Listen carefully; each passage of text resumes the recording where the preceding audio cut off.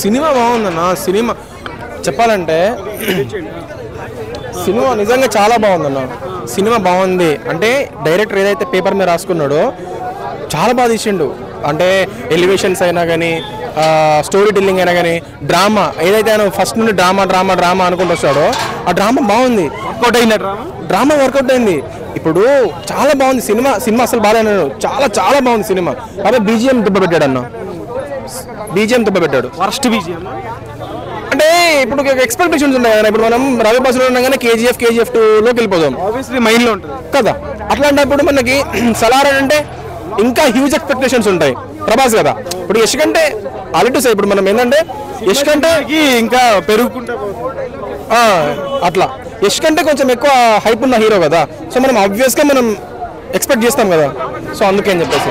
ఆ expectations reach అవ్వలేకపోయింది music మాత్రమే రీచ్ అవ్వలేదన్న. సినిమా రీచ్ అయింది.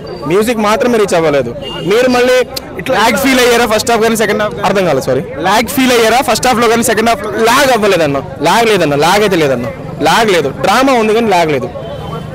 పృథ్వీరాజ్ సుకుమార్ అండ్ ప్రభాస్ మధ్య సీన్స్ కానీ ఎమోషన్ ఎమోషనల్ డైలాగ్స్ కానీ ఓవరాల్గా అది కనెక్ట్ అయింది అదే చెప్తున్నా.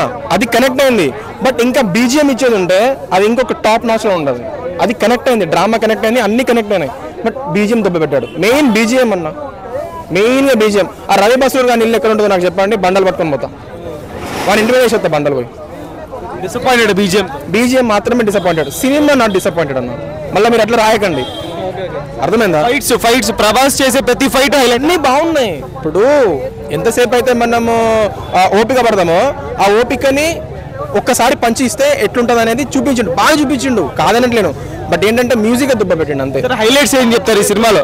పాజిటివ్స్ ఏంటి నెగిటివ్స్ ఏంటి? షాప్స్ వచ్చినాయి కదా. సాలిడ్ సాలిడ్ కంబ్యాక్ ఇచ్చారా? నిజంగా మేము హ్యాపీగా ఉన్నాం. చాలా హ్యాపీగా ఉన్నాం. ఒక రవి బసూర్ పట్ల మాత్రమే బీజేం ఒకటి. ఒక్క అంతే ఒక బీజిఎం ఒకటే.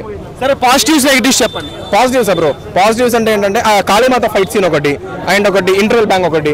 అండ్ లాస్ట్లో స్టోరీ టెల్లింగ్ అనేది చాలా బాగుంది. లాస్ట్లో story telling the drama which has created is very perfectly Singh negatives negatives అది అయ్యో ఒక్కటే నెగిటివ్ అంతే. నాకైతే ఒక్కటే negative thank you thank you